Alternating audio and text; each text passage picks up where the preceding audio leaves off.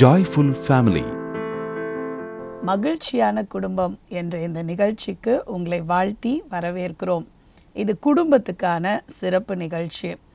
இந்த நிகழ்ச்சியில் நம்ம குடும்பத்தை எவ்வளோ சந்தோஷமாக மகிழ்ச்சியாக வேதத்தின் அடிப்படையில் நடத்த முடியும் அப்படின்னு சொல்லி நம்ம பார்த்து கொண்டு வருகிறோம். கத்தர் நம் குடும்பங்களை ரொம்ப அதிகமாக நேசிக்கிறார். கடந்த சில மாதங்களாக சில குடும்பங்களோடு நாங்கள் ஒர்க் பண்ணிகிட்ருக்கோம் ஆலோசனைக்கு வராங்க. பிரச்சனைகளோட வராங்க. முதல் நாள் ஆலோசனையில் நாங்கள் பார்க்கும்போது இந்த கணவன் மனைவி சேருவாங்களா அப்படின்னு நிறைய சந்தேகங்கள் இருந்தது. அவங்களுக்கும் சந்தேகம் இருந்தது எங்களுக்கும் சந்தேகங்கள் இருந்தது. இதன் மத்தியில் கர்த்தர் என்ன செய்ய முடியும்? இவ்வளோ பிரச்சனைகள் இருக்கிறதே அப்படின்னு நினச்ச நாட்கள் உண்டு. ஆனால் நீங்கள் நம்ப மாட்டீங்க. நாங்கள் ஜெபிக்க ஜெபிக்க அந்த தம்பதியரும் கணவன் மனைவி ஜெபிக்க ஜெபிக்க அற்புதமாய் காரியங்களை மாற்றுகிறார். அதுலேருந்து ஒரு காரியத்தை நான் தெளிவாய் புரிந்து கொண்டேன். நம்மளுடைய குடும்ப வாழ்க்கையில் இல்லற வாழ்க்கையில் நம்மை காட்டிலும் அது சந்தோஷமாக இருக்கணும்னு நம்ம பிரயாசப்படுகிறது ஆசைப்படுகிறதை காட்டிலும் பல மடங்கு நம்ம இயேசு கிறிஸ்து ஆசைப்படுகிறார். இந்த சந்தோஷத்தையும் மகிழ்ச்சியத்தையும் சமாதானத்தையும் நம்ம இல்லங்களில் நம்ம உள்ளங்களில் கொடுக்கணும்னு சொல்லி அவர் பிரியப்படுகிறாருங்க. ஆனால் ஒரே ஒரு காரியம் அவருடைய வார்த்தையின் அடிப்படையில் நம்ம வாழும்போது அது ரொம்ப சுலபமான ஒரு காரியமாக இருக்குது அது கஷ்டமாகவே இல்லை. என்ன நம்மளுக்கு ஆண்டவருடைய வார்த்தை தெரியவே இல்லை. அதை படிக்கிறதில்ல நேரம் எடுத்து தியானிக்கிறதில்ல ஒரு பிரச்சனை வரும்போது ஆண்டவரிடத்தில் போகிறதில்ல நம்ம பழக்கப்பட்டவர்களிடத்தில் மற்றவர்களிடத்தில் உறவினர்களிடத்தில் அம்மா அப்பா கிட்ட போகும்போது பிரச்சனை சில நேரம் பெருசாயிடுது. இன்றைக்கு ஒரு மனைவிக்கு ஒரு கேள்வி. என்ன கேள்வி அப்படின்னு சொன்னால் என்னுடைய கணவர் ரட்சிக்கப்படவில்லை. இயேசுவை அறிந்து கொள்ளவில்லை. ஆனால் நான் இயேசு கிறிஸ்துவை அறிந்து கொண்டு ரட்சிக்கப்பட்டு ஞானஸ்தானம் எடுத்து அபிஷேகம் பண்ணப்பட்டு என்னுடைய வாஞ்சை எல்லாமே ஆண்டோருக்காக ஏதாவது செய்ய வேண்டும் என்று தான். அப்படி தான் திருமணத்துக்கு முன்பாக நான் இருந்தேன். எங்களுடைய திருமணம் வந்து ஒரு அரேஞ்ச்டு மேரேஜ்னால நாங்கள் அதிகமாக என்னுடைய கணவர் எப்படிப்பட்டவர்னு தெரியாது. ஆனால் ஒரு கிறிஸ்தவ குடும்பத்திலேருந்து வந்தனால நாங்கள் எல்லாம் சரின்னு சொல்லிட்டோம். இப்போ எங்களோட ரெண்டு பேரோட இன்ட்ரெஸ்ட் ரொம்ப டிஃப்ரெண்ட்டாக இருக்குது நான் ஏதாவது ஒரு மீட்டிங் போகணும்னு நினைக்கிறேன். சண்டே ஆனால் சர்ச் போகணும்னு நினைக்கிறேன். சேர்ந்து வேதம் வாசிக்கணும் ஜெபிக்கணும் குடும்ப ஜெபம் பண்ணணும்னு நான் சொல்லுகிறேன். இது சரியில்லை இது தவறான காரியம் அப்படின்னு சொன்னால் அவர் இதெல்லாம் பரவாயில்ல அப்படின்னு சொல்கிறாரு அதனால் எங்களுக்குள்ள கருத்து வேறுபாடுகள் வருகிறது. அவரை பார்க்கும்போது சில நேரம் கோபம் வருகிறது. தவறான முடிவுகளை எடுக்கிறாருன்னு தெரியுது. சொன்னால் கேட்க மாட்டேன்றாரு. எப்படி இதை கையாளுவது அப்படின்னு சொல்லி ஒரு மனைவி கேட்டிருக்காங்க. இது ஒருவருடைய பிரச்சனை இல்லை. நிறைய பேருடைய பிரச்சனை. நிறைய பேர் எங்களோடு கூட தொலைபேசியில் தொடர்பு கொள்ளும்போது இந்த பிரச்சனையை நீங்கள் சொல்கிறீங்க ஒருவர் ஆண்டவரை ஏற்றுக்கொண்டிருக்கும் போது இன்றைக்கு எப்படி இந்த திருமண வாழ்க்கையில் நாங்கள் ரெண்டு பேரும் ஒன்றா போக முடியும்னா இருவர் ஒருவராக ஆகுகிற ஒரு ஒரு இன்டிமேட் ரிலேஷன்ஷிப் தான் மேரேஜ் சரியா? அப்போ வேதம் முதலாவது இதை குறித்து என்ன சொல்லுதுன்னு நம்ம பார்க்க வேண்டும். ஏன்னா வேதம் எல்லா காரியத்துக்கும் அழகான நமக்கு தீர்வுகளை கொடுத்து கொண்டு இருக்கிறது உங்களோடு கூட ஒன்று குருந்தியர் ஏழாவது அதிகாரத்திலேருந்து சில வசனங்களை நான் வாசிக்க விரும்புகிறேன். பத்தாவது வசனத்திலிருந்து வாசிக்கும்போது இப்படியாக இருக்கிறது. விவாகம் பண்ணி கொண்டவர்களுக்கு நான் அல்ல கத்தரே கட்டளையிடுகிறதாவது மனைவியானவள் தன் புருஷனை விட்டு பிரிந்து போகக்கூடாது. பிரிந்து போனால் அவள் விவாகம் இல்லாதிருக்க கடவுள் அல்லது புருஷனோடே ஒப் ஒப்புரவாக கடவுள். புருஷனும் தன் மனைவியை தள்ளிவிடக்கூடாது. மற்றவர்களை குறித்து கத்தர் அல்ல நானே சொல்லுகிறதாவது சகோதரன் ஒருவனுடைய மனைவி அவசிய அவிசுவாசியாக இருந்தும் அவனுடனே வாசமாயிருக்க அவளுக்கு சம்மதம் இருந்தால் அவன் அவளை தள்ளி விடாதிருக்க கடவன். அதாவது இந்த பகுதியில் மெயினாக ஒருவர் அதாவது கணவனோ மனைவியோ யாரோ ஒருவர் ஆண்டவரை அறியாதவர்கள் இல்லை விசுவாசம் இல்லாதவர்கள் நம்பிக்கை வைக்காதவர்கள் சில நேரம் கிறிஸ்தவ பின்னணியிலிருந்து கிறிஸ்தவ குடும்பத்திலிருந்தே வந்திருப்போம். ஆனால் ஆண்டவருக்கும் அவங்களுக்கும் தொடர்பு இருக்காது. ஒரு பரம்பரை கிறிஸ்தவர்களாக காணப்படுவார்கள். சில பேர் நீங்கள் ஒருவேளை உங்கள் திருமணத்தை ஒரு புறஜாதியிலிருந்து ஒரு நான் கிறிஸ்டியனையே கல்யாணம் பண்ணியிருக்கலாம் ஒருவேளை நேசித்து திருமணம் செய்திருக்கலாம். எப்படியோ திருமணம் ஆயிடுச்சு. இனிமே அதை மாற்ற முடியாது. ஆனால் இந்த ரட்சிக்கப்படாத இல்லை தேவனுக்குள்ளே இல்லாத ஒரு கணவன் மனைவியோடு நம்ம இருப்போமானால் கருத்து வேறுபாடுகள் வரும்போது முதல் காரியம் ஆண்டவர் தெளிவாக வேதத்தில் பவுல் மூலமாக எழுதுகிறது என்னவென்றால் நீங்கள் ரெண்டு பேரும் பிரியவே கூடாது. என்ன பிரச்சனைகள் வந்தாலும் அதை பேசி அதை சமாளித்து தீர்த்து கொண்டு இணைந்து தான் வாழ வேண்டுமே தவிர பிரிந்து போகக்கூடாது. ஒரு தங்கச்சி எனக்கு கால் பண்ணாங்க. அவங்க ரொம்ப நேசித்து ஒரு சகோதரனை அவங்க நே அவங்க திருமணம் செய்து கொண்டாங்க. அவங்களுக்கு முன்னாலேயே தெரியும் இந்த சகோதரருக்கு நிறைய பழக்க வழக்கங்கள் இருக்கிறது. அவர் ஆண்டோருக்குள்ளே இல்லை. எல்லாமே தெரியும். ஆனாலும் அவர்களை நேசித்தது நிமித்தமாக திருமணம் முடிஞ்சிருச்சு. திருமணம் முடிஞ்சதுக்கப்புறம் டே ஒன்லேருந்து ப்ராப்ளம். ஏன்னா அவர் ஸ்மோக் பண்ணுவார். அவர் ட்ரிங்க் பண்ணுவார். அந்த ஸ்மெல்லை இந்த தங்கச்சியால் ஏற்றுக்கொள்ள முடியலை. இந்த தங்கச்சி ஆண்டவருக்குள்ளே இருக்கிறவங்க பைபிள் வாசிப்பாங்க ஜெபிப்பாங்க. அது அவருக்கு பிடிக்கவே பிடிக்காது. என்ன எப்போ பார்த்தாலும் பைபிள் எடுத்து வச்சுட்டு ஜோம் பண்ணிட்டு என்னவோ பாஷையிலெல்லாம் பேசிகிட்டு இருக்கேன் என் கூட வந்து பேச மாட்டேக்கிறேன் இப்படி சின்ன சின்னதாகி பெருசாகி அந்த தங்கச்சியால் இருக்க முடியாமல் ஒரு ரெண்டு மூன்று மாதத்தில் பிரிந்து போயிட்டு எனக்கு கால் பண்ணாங்க. அக்கா நான் வந்துட்டேன். என்னால் அவரோட இருக்கவே முடியலை அப்படின்னு சொல்லி சொன்னேன். பாருங்க விசுவாசிகளாக யார் இருக்கிறீங்களோ யார் ஆண்டவருக்குள்ளே இருக்கிறீங்களோ நீங்கள் தான் ரொம்ப அதிக பொறுமையாக இருக்க வேண்டும். உங்கள் மூலமாக தான் ஆண்டவர் ஏதாவது ஒரு கிரியையை செய்ய முடியும். அவங்களுக்குள்ள தேவன் இல்லை. தேவன் இல்லாதவரிடத்துல தேவன் பேச முடியாது. அப்போ முதலாவது ஆண்டவர் விசுவாசிகளாகிய உங்களுக்கு சொல்லுகிறது என்னதுன்னா பிரிஞ்சு வராதீங்க. எவ்வளோ பிரச்சனை வந்தாலும். ஏன்னா உங்களுக்கு அந்த இடத்துல தேவன் இருக்கிறார். ஒருவேளை பிரச்சனை இருக்கலாம் கடினமாக பேசலாம் அடிக்கலாம் ஒருவேளை உங்களை தவறாக நடத்தலாம் தவறான வார்த்தைகள் சொல்லலாம் புரிதல் இல்லாமல் சண்டைகள் வரலாம். ஆனால் நீங்கள் போய் அழுகிறதற்கு தேவ சமூகம் அங்கே இருக்கிறது. அந்த வீட்டில் உங்களோடு கூட தேவன் இருக்கிறார். அதனால் ஆண்டவர் சொல்கிறாரு யுத்தம் நம்ம ரெண்டு பேரும் சேர்ந்து செய்ய போகிறோம். நீ அதனால என்ன பண்ணக்கூடாது? கிளம்பி வீட்டுக்கு அம்மா வீட்டுக்கு கிளம்பி போயிடவே கூடாது அப்படின்னு சொல்லி ஆண்டவர் ரொம்ப தெளிவாக சொல்கிறார் ஸோ ஃபர்ஸ்ட்டு கட்டளை என்னென்னா you should not leave your husband or your wife சரியா? விட்டுட்டு போகணும் அப்படின்ற நினைப்பே இருக்கவே கூடாது சரியா? பாருங்கள் தொடர்ந்து அதில் பேசுகிறார். ஒன்று குறைந்த ஏழு பத்துலேருந்து வாசித்து கொண்டு இருக்கும்போது அப்படியே ஒரு ஸ்திரீயினுடைய புருஷன் அவிசுவாசியாக இருந்தும் அவளுடனே வாசமாக இருக்க அவனுக்கு சம்மதம் இருந்தால் அவள் அவனை தள்ளி விடாதிருக்க கடவள். என்னத்தினாலெனில் அவிசுவாசியான புருஷன் தன் மனைவியால் பரிசுத்தமாக்கப்படுகிறான். அவிசுவாசியான மனைவியும் தன் புருஷனால் பரிசுத்தமாக்கப்படுகிறாள்.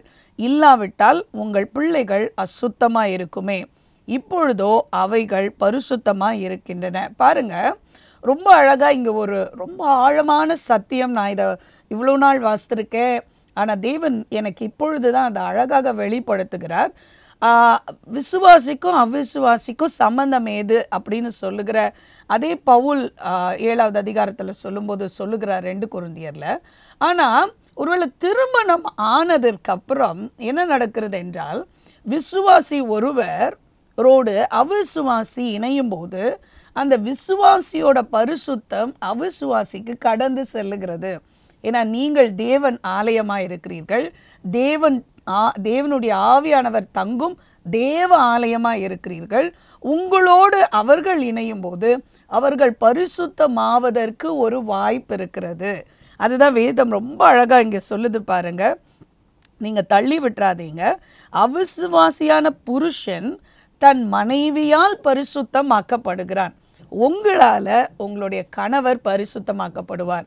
உங்களால் உங்கள் மனைவி பரிசுத்தமாக்கப்படுவாள். அது மட்டும் இல்லைங்க அதன் மூலமாக உங்கள் பிள்ளைகள் ஒரு தேவ சந்ததியாக பரிசுத்த சந்ததியாக வரும். பாருங்க இல்லாவிட்டால் உங்கள் பிள்ளைகள் அசுத்தமாக இருக்குமே ஆனால் இப்பொழுதோ அவைகள் பரிசுத்தமாக இருக்கின்றன. பாருங்க முதலாவது நீங்கள் ஆண்டவருக்கு நன்றி சொல்ல வேண்டியது என்னென்ன அட்லீஸ்ட் நீங்கள் ஆண்டவருக்குள்ளே இருக்கிறீங்க. அதனால பரிசுத்தமான சந்ததி தான் உருவாகும். நிறைய பேருக்குள்ள ஒரு பயம். ஐயோ என் கணவர் என்ன புறஜாதியாராக இருக்காங்களே. என்னுடைய மனைவி வந்து புறஜாதியிலேருந்து நான் திருமணம் செய்துட்டேனே பரவாயில்ல. முடிஞ்சு போச்சு. ஆனால் தேவன் உங்கள் பரிசுத்தம் நிமித்தமாக உங்கள் சந்ததியும் உங்கள் கணவரையும் உங்கள் மனைவியும் பரிசுத்தமாக்க நினைக்கிறார். ரூத் இதுக்கு ஒரு நல்ல எக்ஸாம்பிள்ங்க. போவாஸ் ஆண்டவருக்குள்ளே இருக்கிற ஒரு மனுஷன். ரூத்தும் ஆண்டவருக்குள்ளே தெரிந்து கொள்கிறாங்க அவங்க புறஜாதி தான். ஆண்டவரை அறியாத மோவாபியர்கள் வணங்குகிற பல காரியங்கள் பல தேவர்களை வணங்குகிற ஒரு சந்ததியிலேருந்து வர்றாங்க. ஆனால் போவாஸை திருமணம் செய்து கொண்டது நிமித்தமாக அவர்கள் மட்டும் பரிசுத்தப்படுத்தலை. அவர்களுடைய சந்ததி பரிசுத்தப்படுத்தி இயேசுவானவர் அந்த சந்ததி அதாவது தாவீத் அந்த சந்ததியிலும் பிறகாக பல வருடங்கள் கழித்து இயேசுவானவர் அந்த சந்ததியிலும் வருகிறார். எவ்வளோ அழகான ஒரு உண்மை பாருங்கள் ஒருவேளை இயேசு கிறிஸ்துவை அறியாத உங்கள் கணவன் மனைவி இருக்கிறவங்களுக்கு இது ஒரு நல்ல செய்திங்க. நீங்கள் சோர்ந்து போகவே போகாதீங்க. என் கணவர் எப்போ மாறுவார்? என்னுடைய மனைவி எப்போ மாறுவார்? எங்களுக்குள்ளே எவ்வளோ பிரச்சனைகள் அப்படின்னு நீங்கள் கேட்டுட்டு இருந்தீங்கன்னா கர்த்தர் இன்றைக்கு நம்பிக்கை கொடுக்கிறார். இங்கே பாருங்க உங்களையும் அவரையும் நான் ஒரு சித்தத்தோடு தான் நினைத்திருக்கிறேன். ஒருவேளை நம்மளுக்கு வந்து ஒரு ஒரு டவுட் வரலாம். நான் தவறான முடிவு எடுத்துட்டனோ திருமணத்துக்கு முன்பாக தவறான முடிவு எடுத்துட்டனோ இல்லை வந்து விசாரிக்காமல் திருமணம் செய்துட்டனோ என்னோட இன்ட்ரெஸ்ட் வேற மாதிரி இருக்கே அவரோட இன்ட்ரெஸ்ட் வேற மாதிரி இருக்கே இல்லைங்க. தேவன் சித்தம் இல்லாம அந்த திருமணம் நடைபெறவே இல்லை. ஆக முதலாவது உங்க கணவரையும் மனைவியும் அப்படியே ஏற்றுக்கொள்ளுங்க. அவங்க ஆண்டவருக்குள்ள இல்லைன்னா கூட பரவாயில்ல. கர்த்தர் தந்த துணை அது ஏற்ற துணை. அதனால் கர்த்தர் அதை அவர்களை உங்கள் மூலமாக பரிசுத்தமாக்கி உங்கள் சந்ததியும் பரிசுத்த சந்ததியாக வந்து கொண்டிருக்கிறது. அதனால் ஆனால் நீங்கள் கர்த்தரை கெட்டியமாக பிடிச்சிக்கணும். நீங்கள் உங்கள் விசுவாசத்துலேருந்து கீழே போகக்கூடாது. என்ன செய்யணும் அப்படின்னு சொல்லி நம்ம பார்க்க போகிறோம் பாருங்கள் மல்கியா ரெண்டு பதினைந்து பதினாறில் ரொம்ப அழகாக இந்த தேவ சந்ததியை குறித்து சொல்லியிருக்கிறது. அங்கே இன்னும் தெளிவாக சொல்லுகிறது நீங்கள் பிரியக்கூடாது அப்படி அப்படின்னு சொல்லி அவர் ஒருவனை அல்லவா படைத்தார். ஆவி அவரிடத்தில் பரிபூரணமாய் இருந்ததே. பின்ன ஏன் ஒருவனை படைத்தார்? தேவ பக்தியுள்ள சந்ததியை பெறும்படிதானே ஆகையால் ஒருவனும் தன் இள வயதின் மனைவிக்கு துரோகம் பண்ணாதபடிக்கு உங்கள் ஆவியை குறித்து எச்சரிக்கையாயிருங்கள் தள்ளி விடுதலை நான் வெறுக்கிறேன் என்று இஸ்ரவேலின் தேவனாகிய கத்தர் சொல்லுகிறார். அப்படிப்பட்டவன் கொடுமையினால் தன் வஸ்திரத்தை மூடுகிறான் என்று சேனைகளின் கத்தர் சொல்லுகிறார். உங்கள் கணவரோ மனைவியோ ஒருவேளை ஆண்டவருக்குள்ளே இல்லை அதனால் நான் பிரிந்து இருக்கிறேன் இல்லை அவங்கள அம்மா வீட்டுக்கு அனுப்பிட்டேன் இல்லை நான் வந்து அம்மா வீட்டுக்கு வந்துட்டேன் இல்லை எனக்கு சேர்ந்து வாழ பிடிக்கலை அப்படின்னு சொன்ன கத்தர் இன்றைக்கு உங்களோடு கூட தெளிவாக பேசுகிறார். தள்ளி விடுதலை நான் வெறுக்கிறேன். நீங்கள் கிளம்பி முதல்ல உங்கள் ஹஸ்பண்டோட உங்கள் ஒய்ஃபோட போய் ஒப்புரவாகி ரெக்கன்சைல் ஆகி you have to start your married life together உங்களோடு கூட இருக்க போகிறாருங்க. உங்கள் நிமித்தமாக அவங்க பரிசுத்தமாக போகிறாங்க உங்கள் சந்ததியும் பரிசுத்தமாக இருக்க போகிறது. ஸோ பிரிந்து போகவே கூடாது என்று சொல்லுகிறார். இன்னொரு காரியம் வேணும்னா ஒருவேளை இப்படி ஒரு சூழ்நிலை ஏற்பட்டால் பிரியலாம். அதாவது ஆண்டவரை ஏற்றுக்கொள்ளாத நபர். அது உங்கள் கணவரோ மனைவியோ. அவங்க சொல்கிறாங்க என்னால் உன் கூட வாழ முடியாதுப்பா. நீ என்னவோ கத்தருன்ற நீ என்னவோ ஆண்டவர்ன்ற நீ என்னவோ எப்பவுமே விசுவாசின்ற ஜெபத்துக்கு போகிற உன்னால் உன் கூட என்னால் வாழ முடியாது என்று சொல்லி கத்தரை நீ ஏற்றுக்கொண்டது நிமித்தமாக உன்னால் என் கூட வாழ முடியாதுன்னு சொல்லி அவர்கள் பிரிந்து போனார்களானால் பரவாயில்ல. ஆகிலும் நீங்கள் முயற்சி செய்து எப்படியாவது கூட்டிகிட்டு வர பாருங்க. ஆனால் அவர்கள் பிரிந்து போனால் உங்களுக்கு ஒன்றும் பிரச்சனை இல்லை. ஆனால் பிரிந்து போனதற்கு அப்புறம் நீங்கள் தனிமையாக கடவுளுக்குள்ள உண்மையாக இருக்க வேண்டும். உடனே இன்னொரு திருமணம் செய்வதற்கு வேதம் உடனடியாக அனுமதி தரல. எப்போ திருமணம் செய்யலான்னா மரணம் நம்மை பிரிக்கும் வரை. ஒருவேளை அந்த ஆண்டவரை அறியாத ஒரு உங்களுடைய கணவனோ மனைவியோ இறந்துட்டாங்க அப்படின்னு சொன்னால் அதற்கப்புறம் என்ன பண்ண பண்ணலாம் நீங்கள் நீங்கள் திருமணம் செய்து கொள்ளலாம். இதெல்லாம் ஒன்று குருந்தியர் ஏழு இருபத்தி ஏழில் ரொம்ப தெளிவாக சொல்லப்பட்டு இருக்கிறது ஆக இவ்வளோ நேரம் நம்ம வேதத்தின் அடிப்படையில் நம்ம பார்த்தோம். ஒரு ரட்சிக்கப்படாத கணவன் மனைவினா நம்ம எப்படி வந்து என்ன எப்படி கையாள வேண்டும் என்று சொல்லி வேதத்தின் அடிப்படையில் பார்த்தோம். ஸோ பிரிந்து போகக்கூடாது என்பதை தேவன் சொல்லுகிறார். உங்கள் நிமித்தமாக அவர்கள் பரிசுத்தமாகிறார்கள். உங்களுடைய சந்ததியும் பரிசுத்தமாக இருக்கிறது. தள்ளி விடுதலை நான் வெறுக்கிறேன். ஒருவேளை அவர்கள் உங்களை விட்டு பிரிந்து போய் வாழ முடியாது என்று தள்ளி போவார்களானால் அதற்கப்புறமா உங்கள் வாழ்க்கையை நீங்கள் தனியாக பார்த்து கொள்ளலாம். இல்லை என்றால் நீங்கள் பிரிந்து போகக்கூடாது என்று தேவன் சொல்லுகிறார். இப்போ இந்த மாதிரி ஒரு கணவன் மனைவியோட நம்மளுக்கு உரசல் ஏற்பட்டு கொண்டே இருக்கும். ஏனென்றால் நம்ம ஆண்டவரை ஏற்றுக்கொண்ட நம்ம தேவனை பிரியப்படுத்தணும்னு சொல்லி பார்ப்போம். ஆண்டவரை ஏற்றுக்கொள்ளாத அவர்கள் உலகத்தின் இன்பங்களுக்கோ மற்றவர்களுக்கோ அவங்க முன்னுரிமை கொடுக்கிறவர்களாக இருப்பாங்க. அப்போ எப்படி இதை டேக்கிள் பண்ணுறது ஒரு நாலு காரியம் உங்களோடு கூட நான் ப்ராக்டிக்கலாக பேசலான்னு சொல்லுகிறேன். வேதமும் அதை தான் சொல்லுகிறது.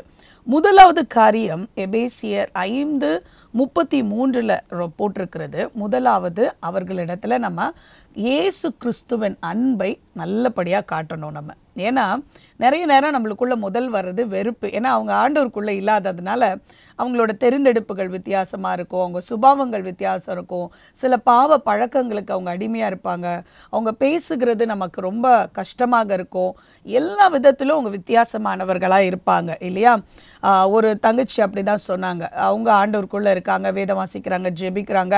ஆனால் கணவன் பார்த்திங்கன்னா குடிக்கிறவரா ஸ்மோக் பண்ணுறவரா அதுக்கப்புறம் ஏன்னோ அவருடைய அவரோட வேஸ் எல்லாம் ப்ரையாரிட்டிஸ்லாம் ஃப்ரெண்ட்ஸு நிறைய காரியங்கள் அவருக்கு பிடித்தமான காரியங்கள். அவர் டோட்டலாக ஏன்னோ ஒய்ஃபோட சிங்கே ஆக மாட்டார் அப்படின்னு சொல்லி அந்த தங்கச்சி என்னோடு கூட பேசி கொண்டு இருந்தாங்க.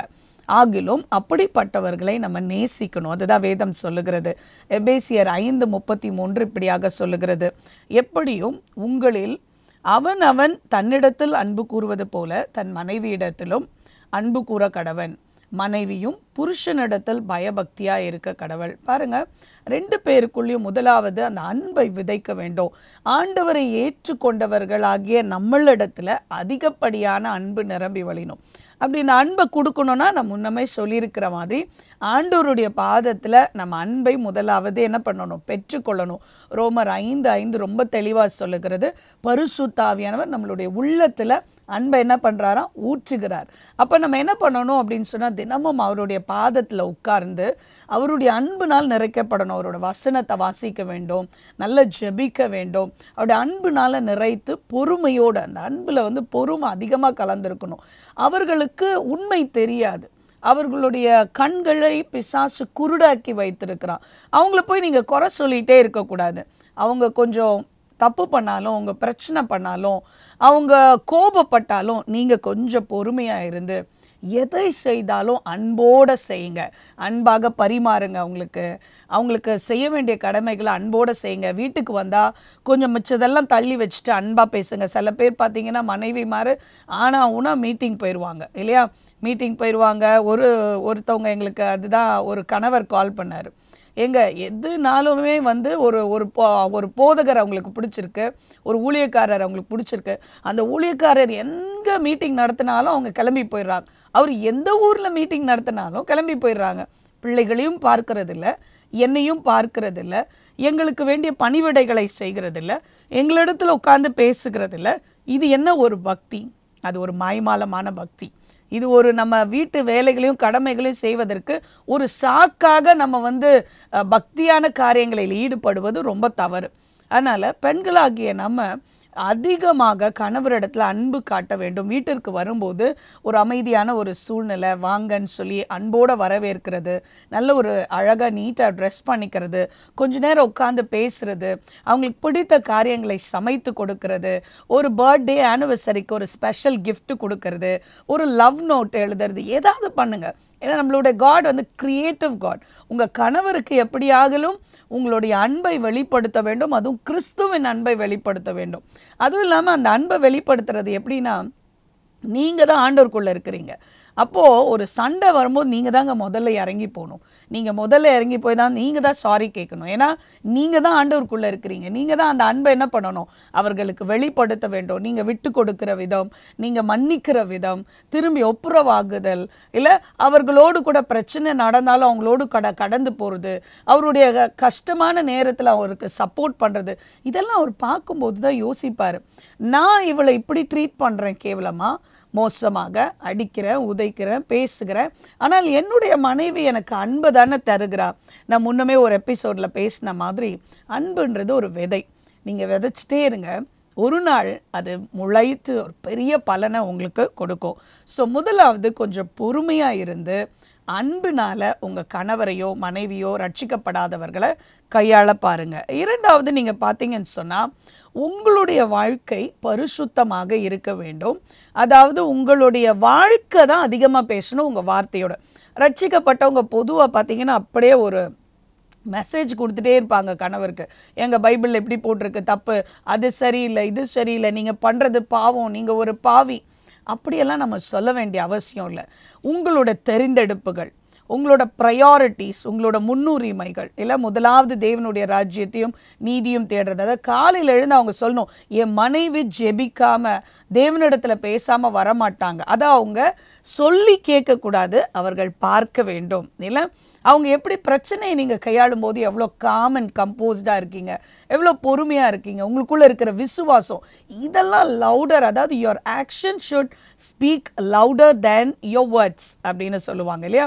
அப்போ உங்களோட வார்த்தைகளில் பிரசங்கம் பண்ணுறத ரொம்பவே கம்மி பண்ணிவிட்டு உங்கள் வாழ்க்கையில் இயேசு கிறிஸ்துவை நீங்கள் காண்பிக்க வேண்டும். ஒன்று பேதுரு மூன்றாவது அதிகாரம் ஒன்று ரெண்டில் பேதுரு ரொம்ப அழகாக சொல்லுகிறார். அந்தபடி மனைவிகளே உங்கள் சொந்த புருஷர்களுக்கு கீழ்ப்படிந்திருங்கள். அப்பொழுது அவர்களில் யாராவது திருவசனத்திற்கு கீழ்ப்படியாதவர்களாய் இருந்தால் பயபக்தியோடே கூடிய உங்கள் கற்புள்ள நடக்கையை அவர்கள் பார்த்து போதனையின்றி மனைவிகளின் நடக்கையினாலே ஆதாயப்படுத்தி கொள்ளப்படுவார்கள். பாருங்க இன்னைக்கு நிறைய காரியங்கள் இப்படி நடந்திருக்கு. நிறையா பேருடைய வாழ்க்கை மாறுகிறத நாங்கள் பார்த்துருக்குறோம். எனக்கு தெரிஞ்சு ஒரு கூட்டத்துக்கு ஒரு மனைவி கொஞ்சம் கஷ்டப்பட்ட அவங்களுடைய கணவரை கூட்டிகிட்டு வந்தாங்க. அவங்க கணவர் த ரொம்ப ஆண்டோருக்குள்ளே இல்லை தவறான பழக்க வழக்கங்கள். ஆண்டோர் பற்றி பண்ணி பேசினாலே இவருக்கு பிடிக்காது. சும்மா இந்த ஒரு ப்ரேயருக்கு வாங்கல அப்படின்னு சொல்லி கூட்டிகிட்டு வந்தாங்க. ஆனால் அந்த ப்ரேயரில் தேவன் அவர்களோடு கூட பேசினார்.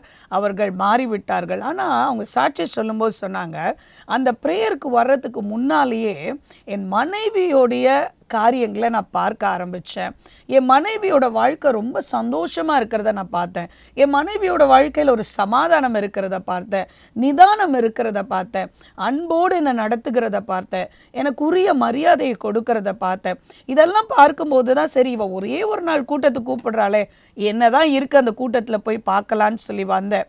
அவள் மட்டும் எரிந்து விழுந்து எப்பொழுதுமே இப்படி எனக்கு எனக்கு இயேசுவை வேற மாதிரி அறிமுகப்படுத்தியிருந்தா அன்றைக்கு அந்த கூட்டத்துக்கு நான் வந்திருக்கவே மாட்டேன். பாருங்கள் நம்மளுடைய சாட்சி தான் ரொம்ப ரொம்ப முக்கியம்.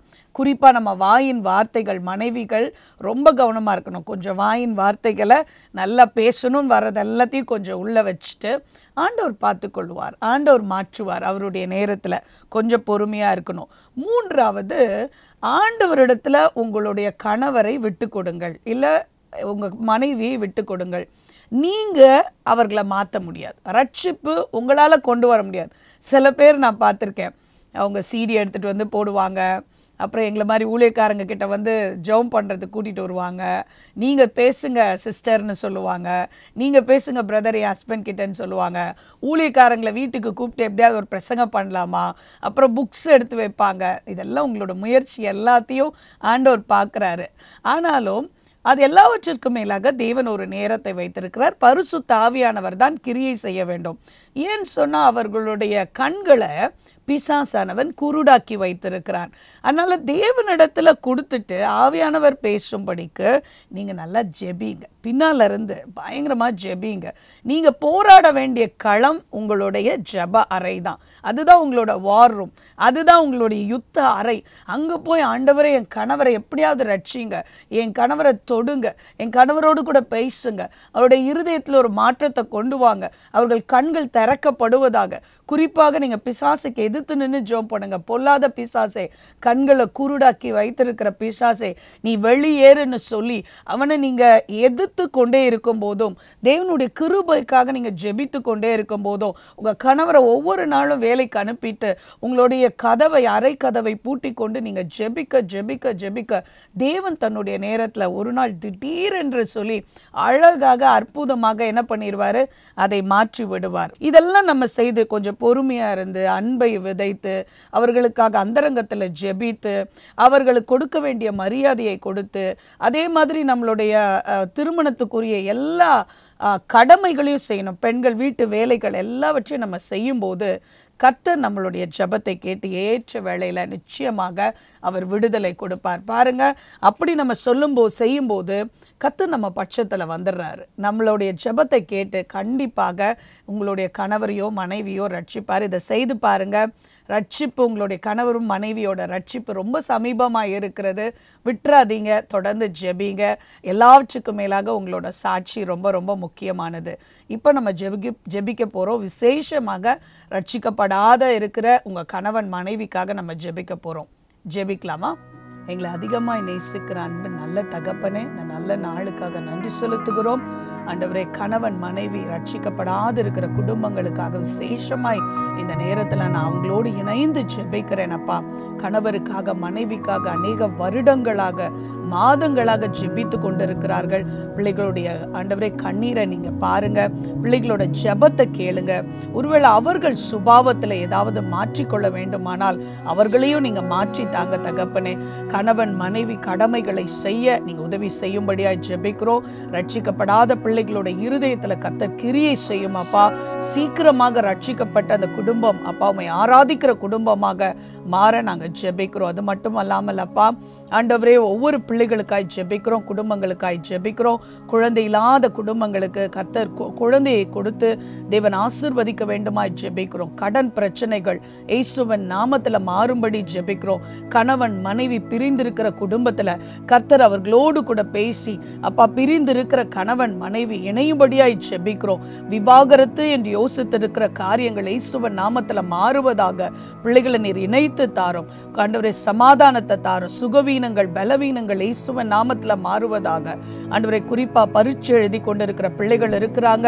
அந்த குடும்பத்தை ஆசிர்வதியும் பிள்ளைகள் நல்லபடியாக பரீட்சை எழுத அந்த பரீட்சை காலங்களில் விசேஷத்த ஞானத்தையும் கிருபைகளையும் ஆண்டவரை சுகத்தையும் பலத்தையும் ஆண்டவரை நீர் குழந்தைகளுக்கு கொடுத்து ஆசிர்வதிக்க வேண்டுமாய் ஜெபிக்கிறோம். இயேசுவின் மூலமாய் ஜெபம் கேட்கிறோம். நல்ல பிதாவே. ஆமென். இன்றைக்கு நிகழ்ச்சி உங்களுக்கு பிரயோஜனமாக இருந்திருக்கும்னு சொல்லி நான் நம்புகிறேன். ரட்சிக்கப்படாத பிள்ளைகளுக்காக தொடர்ந்து ஜோம் பண்ணுங்கள் ரட்சிக்கப்பட்ட நீங்கள் ஆண்டவருக்குள்ள நல்ல பரிசுத்தமாக தைரியமாக செய்ய வேண்டிய காரியங்களை செய்து ஜெபத்தோடு காத்திருங்க. கத்தர் உங்கள் ஜெபத்தை கேட்பார். அடுத்த நிகழ்ச்சியில் உங்களை சந்திக்கும் வரை வாழ்த்தி விடை பெறுகிறேன் வணக்கம்.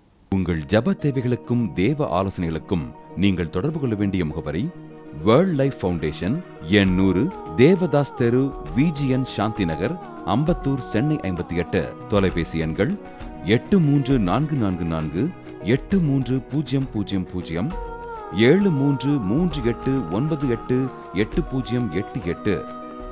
இணையதள முகவரி வேர்ல்ட் லைஃப் டாட் இன் தேவ சமாதானம் உங்களோடு இருப்பதாக